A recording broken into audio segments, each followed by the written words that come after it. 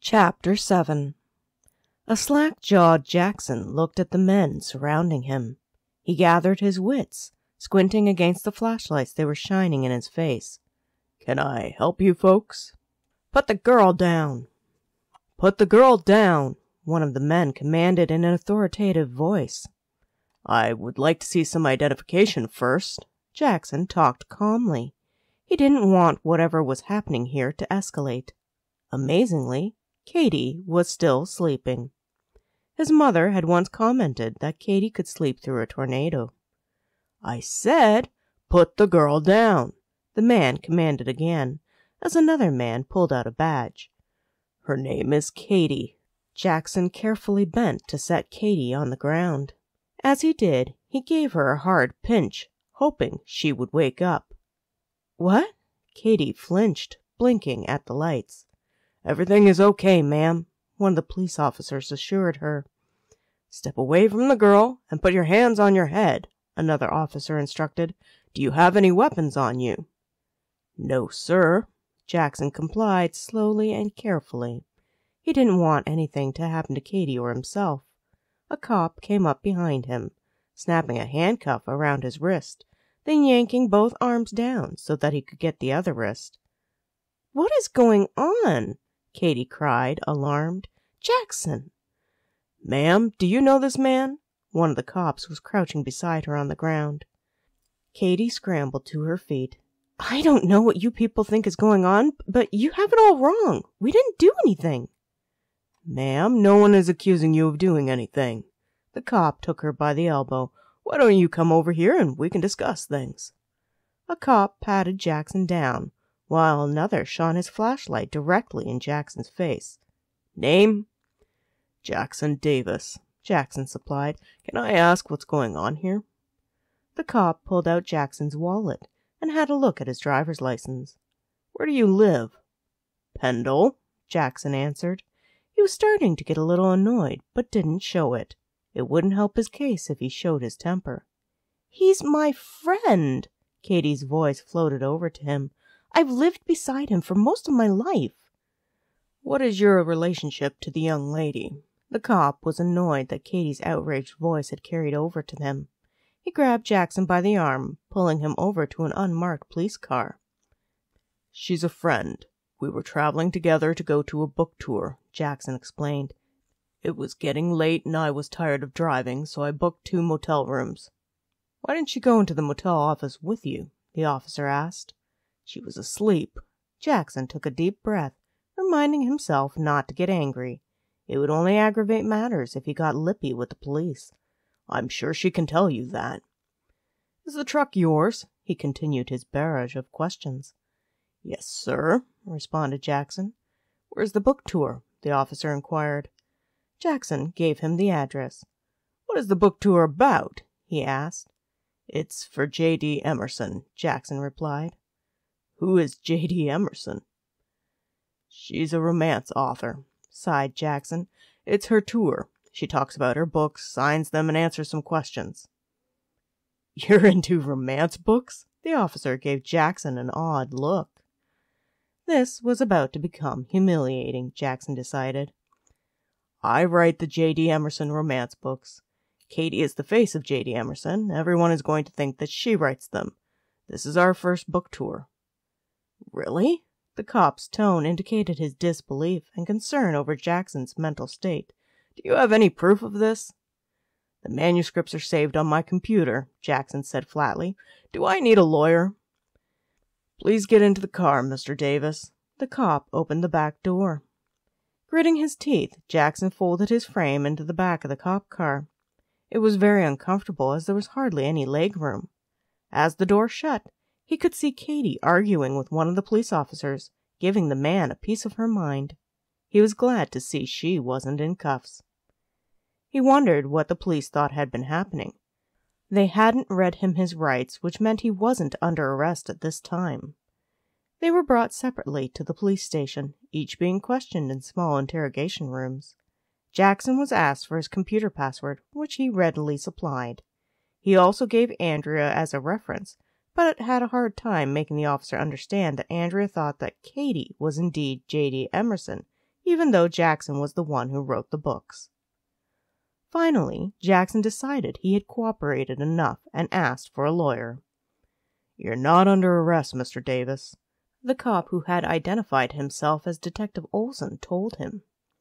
Then can I have the handcuffs removed? Jackson asked pointedly. Olson extracted a key and unlocked Jackson's hands. What is this really about? Jackson wanted to get to the bottom of this. He didn't like that Katie could be anywhere. He was supposed to be looking out for her. A case of mistaken identity. Detective Olson gave a grim smile. We have a man who's been stalking, drugging, and abducting women in the area. His general description fits you. The truck you drive is close to the make, model, and color that witnesses have described. Motel was believed to be in his hunting grounds, and we had set up a sting in hopes of catching him. When you came out of your vehicle, carrying the lady, we thought we had our man. Good grief. Jackson ran a hand through his hair. You thought I was going to kill Katie. I didn't say that, Olson responded. You can see why we treated you as we did. Miss Sutton has supported your story. With the evidence from your laptop and a call to Miss Schultz, you've been cleared. Jackson let out a heavy sigh of relief. He had no idea they had thought he was some psycho. He was glad no one had gotten hurt tonight. Can I go then? Absolutely, Olson nodded. He had a mischievous smile. As long as I can get an autograph from my wife. She's a big fan. Jackson blinked in surprise. Katie will have to sign. As far as the public is concerned, she's JD.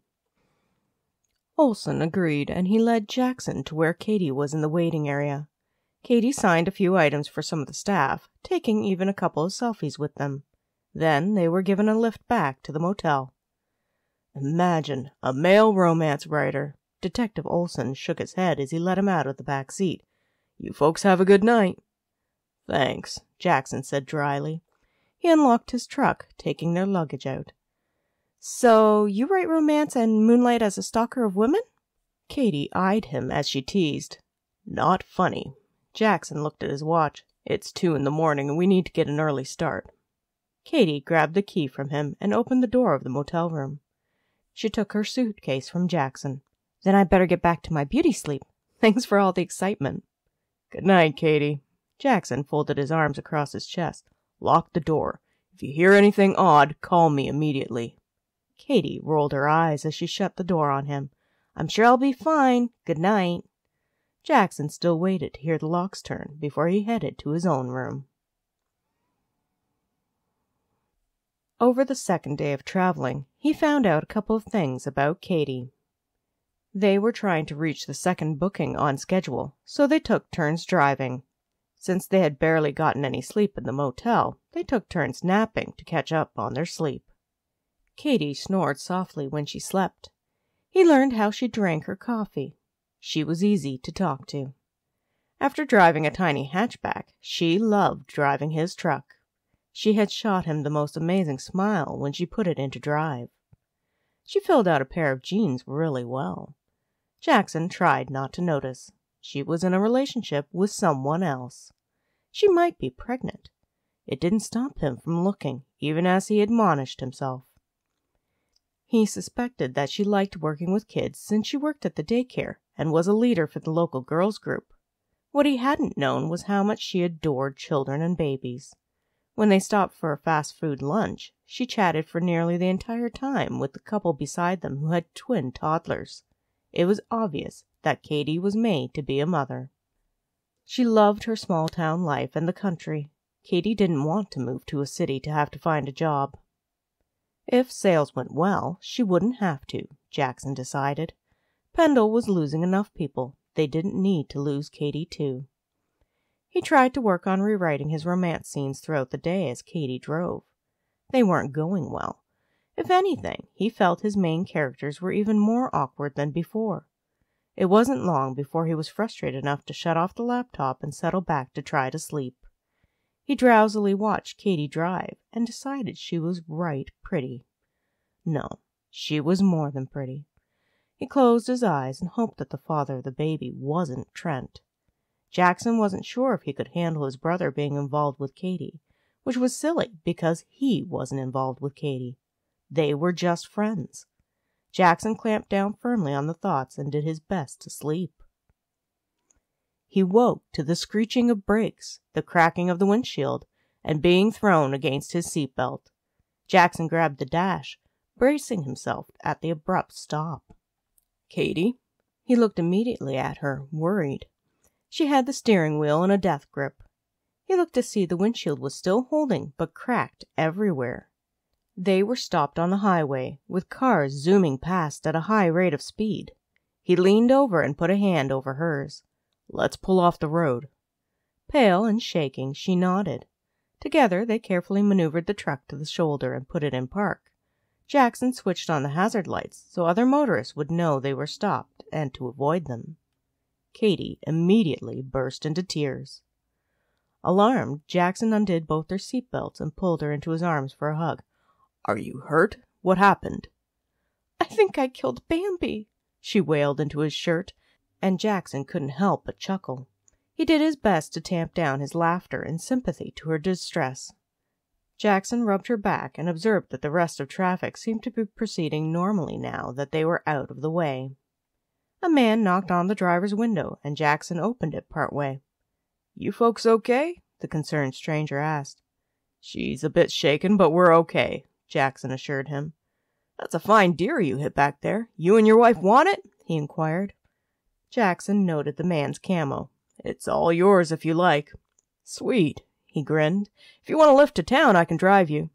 Thanks, but I'll just call for a tow, Jackson easily replied. The man gave them a nod and called for his buddy to help him with the deer with a thumbs up. They're gonna eat Bambi.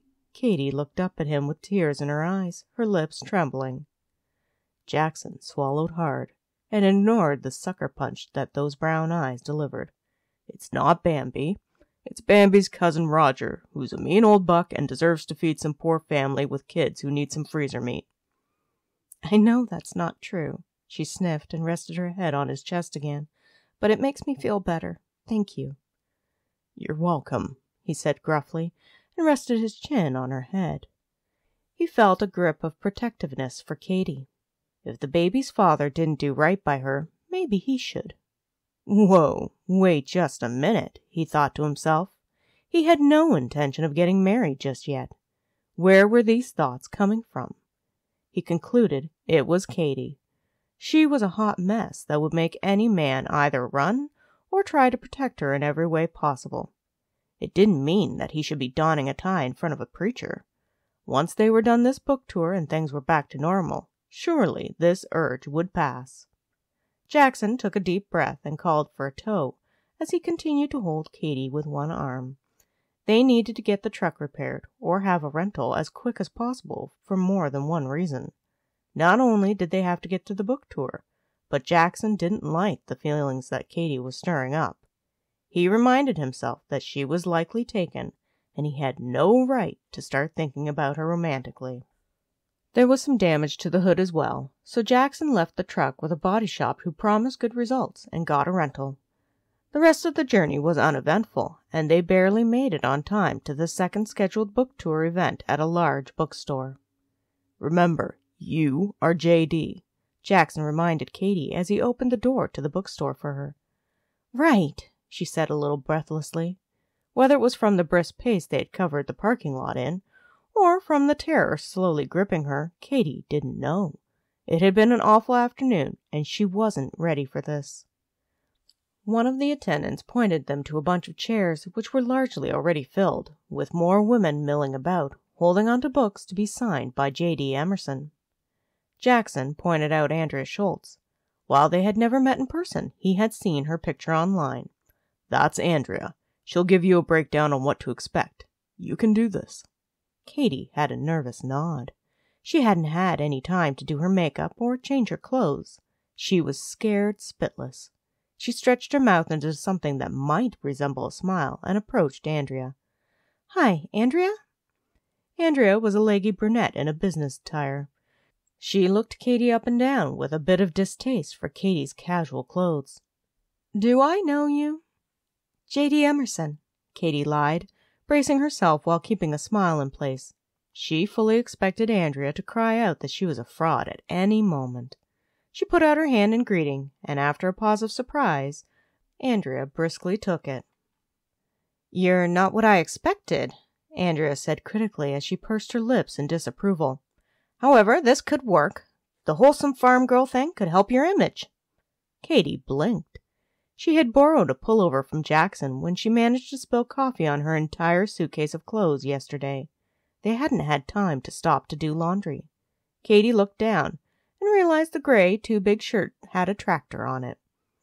Now, we'll go over your image, makeup, and wardrobe later, but for now, you need to get this particular event started. Andrea shoved a book in Katie's hands. I will introduce you. You say a little about yourself, why you became a writer, and that sort of thing.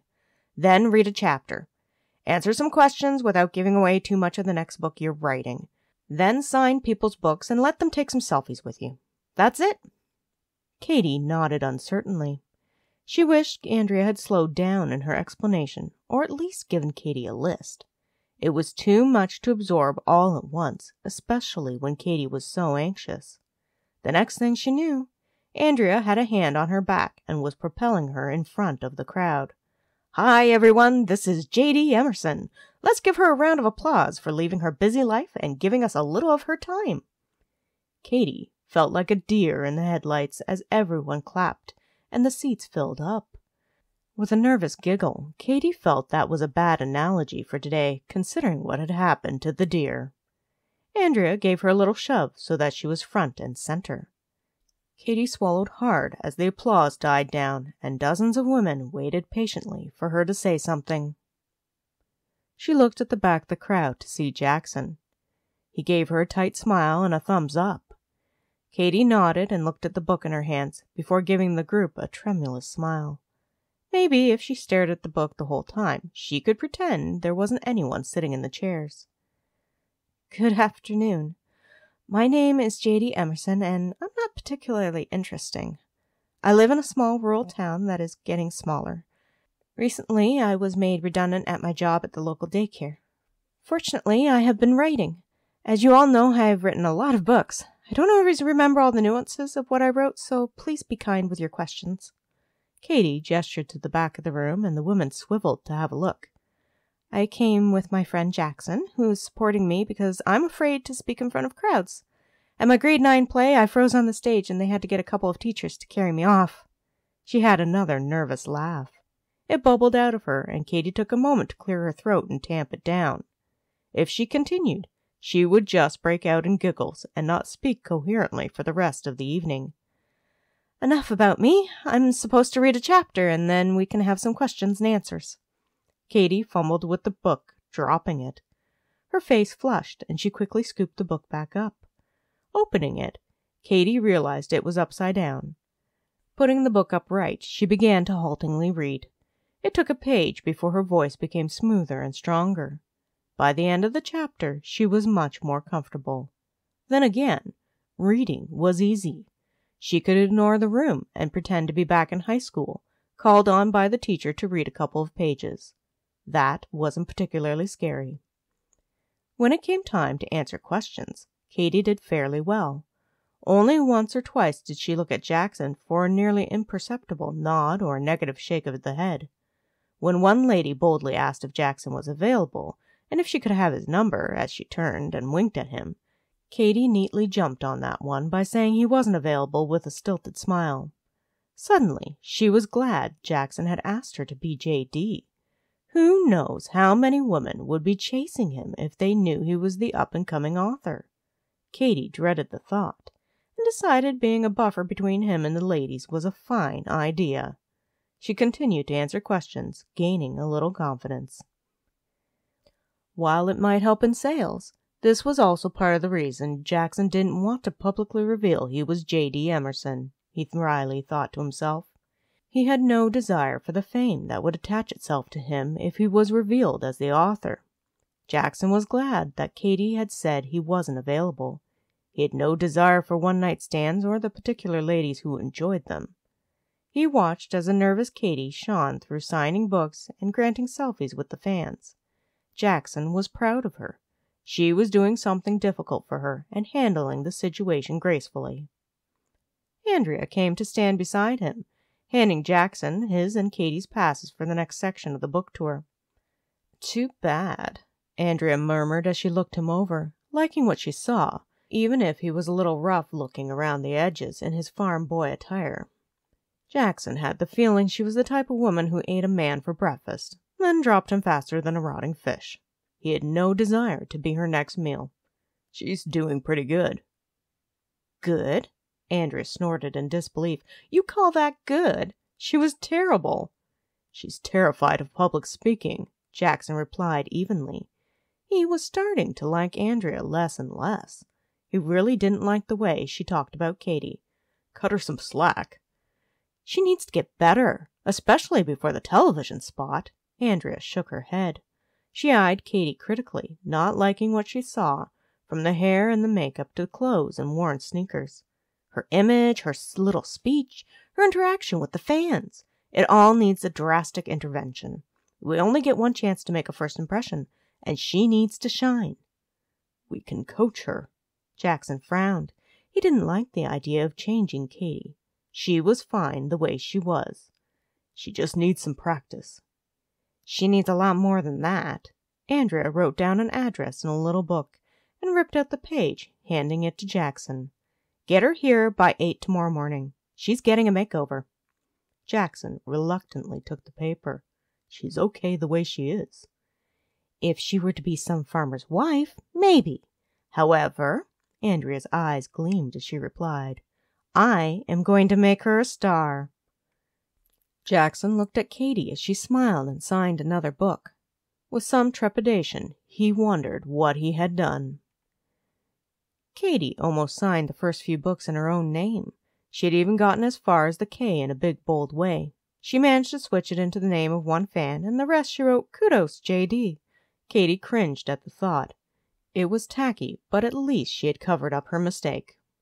Finally done with the last person, Katie massaged her cramped hand and wandered over to Jackson. What did you think? Will I do? I think you did great. Jackson smiled at her, wanting to bolster her courage. Everyone seemed happy with meeting you and having their book signed. Katie gave him a smile of relief. It was a start, Andrea announced as she came to stand beside them. It's unfortunate that I didn't get much time to prepare for you for this as you could use the coaching. However, now that you're here, I will get you polished and newspaper worthy. Newspaper? Katie asked with a bit of alarm. Yes. Andrea checked her watch. You have interviews with a couple of newspapers, influencers, bloggers, and magazines.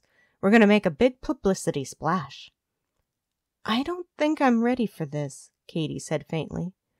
You will do fine, Jackson tried to assure her, wondering why Andrea couldn't pick up on the fact that Katie was nervous enough without adding more stress.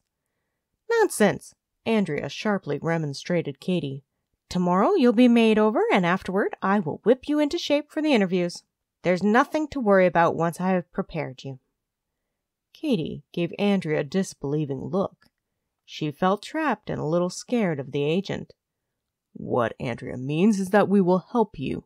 Jackson put a hand on Katie's back. It's late, and you should get some beauty sleep. We have a busy day tomorrow. Andrea tutted and pointed a finger at Jackson. I'm counting on you to get her to the spa on time. Jackson gave a reluctant nod, and a satisfied Andrea walked away. Spa? Katie looked at him questioningly.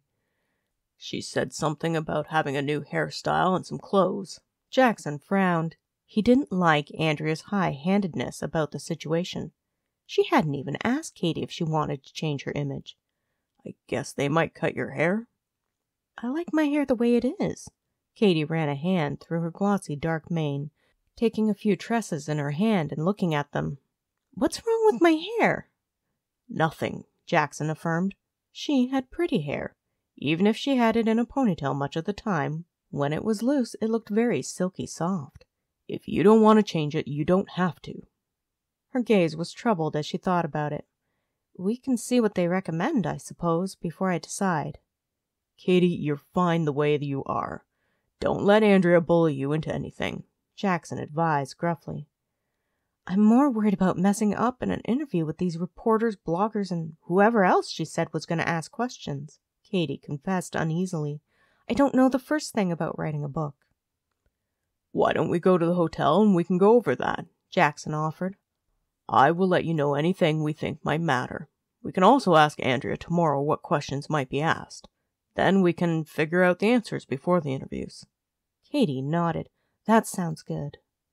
He escorted her back to the rental truck, opening the door for her and helping her in. At the hotel, Jackson brought in their bags and they waited at the lobby desk. It's fancy, Katie commented at the decor. It was far above the old motel in Pendle that had closed down years ago due to lack of business.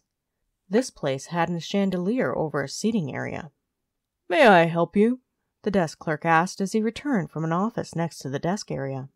We have a reservation. Jackson provided the printed out email that Andrea had sent him. It showed the reservation number on it. With a smile, the clerk keyed in the information into his computer. Room 112. Let me just get your key. Excuse me, isn't there two rooms? Jackson frowned. The clerk looked from the computer to Jackson. No, just the one room.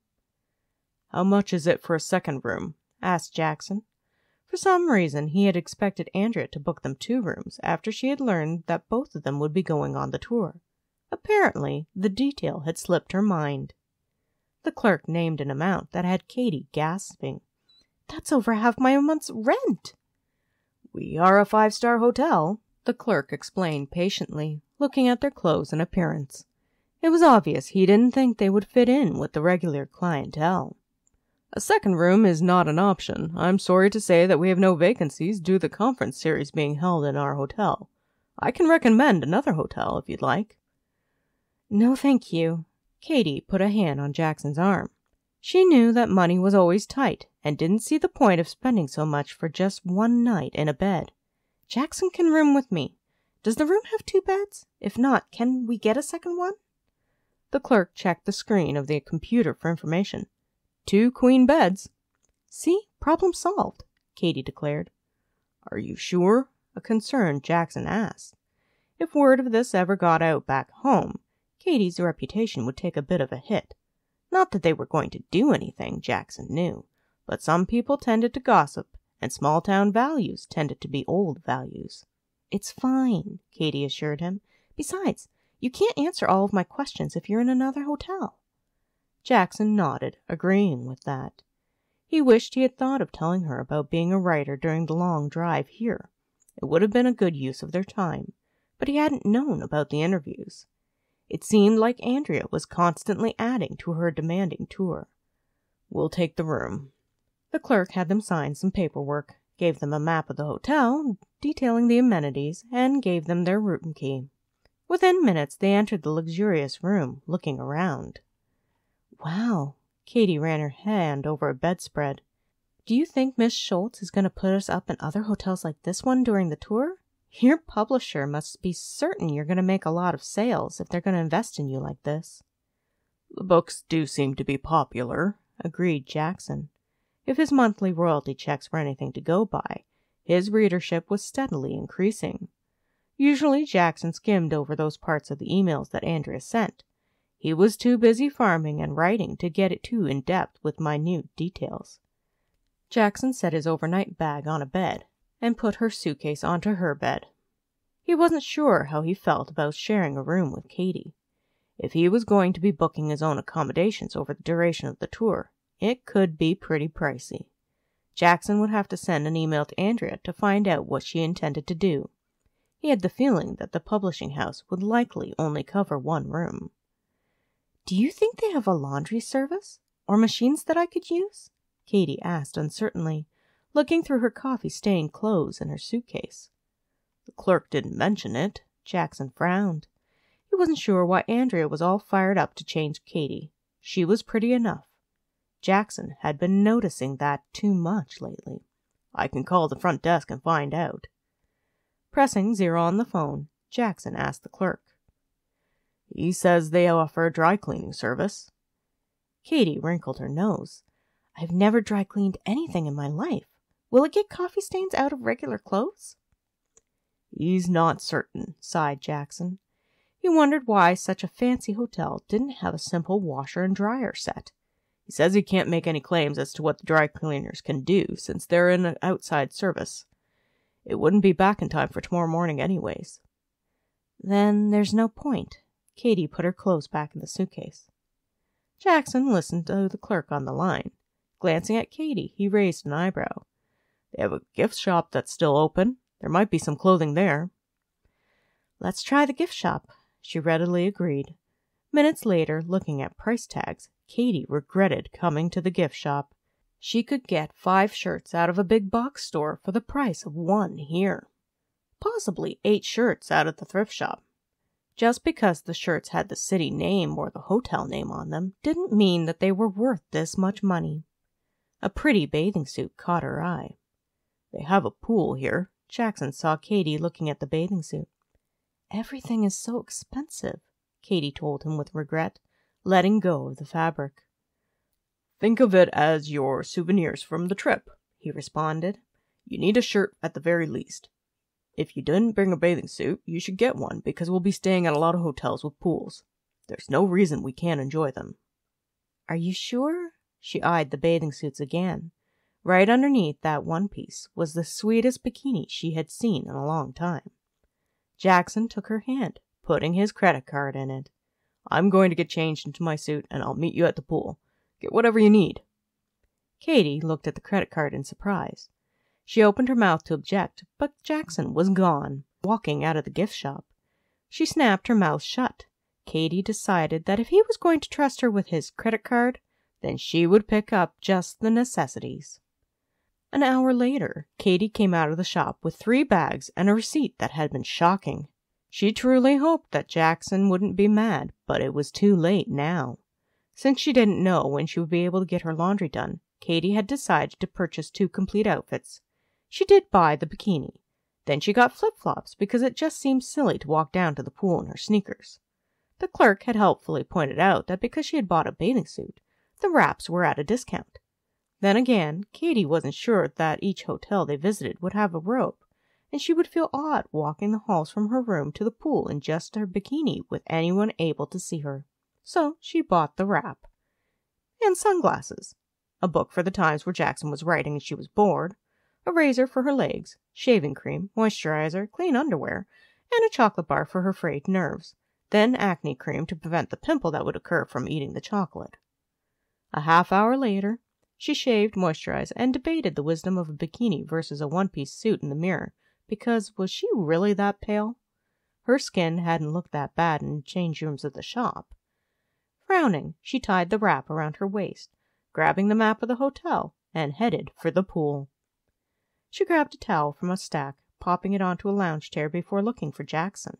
Katie spotted him in the hot tub, eyes closed, leaning back and enjoying the heat. Taking a deep breath, Katie walked toward him. She had been swimming with Trent, Stacy, and Jackson multiple times. She had seen Jackson in his swim trunks before. This was nothing new, Katie reminded herself. Nothing to get worried, nervous, or excited about, Katie told her hormones. She undid the wrap with a little laugh. I bet you thought I got lost. He had been wrong, Jackson decided as he opened his eyes to see Katie not in the one piece suit she had been fingering, but a silky looking bikini. Katie wasn't pretty. She was beautiful. He acknowledged with a sucker punch to the gut. And Jackson was in trouble. He swallowed hard. I did wonder. I'm sorry, but I bought a couple of extra things. Katie confessed as she stepped into the hot tub. Oh, this is glorious. Suddenly, Jackson was thinking of Katie and that bikini in a brand new hot tub on the back deck of the farmhouse. He idly wondered if the deck could hold the weight, or if he would have to shore it up. Jackson shook himself mentally. What was he thinking? This was Katie. She happily relaxed, sitting in the water as the jets buffeted them. With a sigh, she opened her eyes and got down to business. Tell me everything there is to being a writer, she demanded. She was going to be ready for tomorrow, Katie vowed. Thank you for listening. Did you know that currently I have my ebook, A Ring for Christmas, on the U.S. Amazon site for free? You can purchase it at no cost to you. Happy reading and happy listening.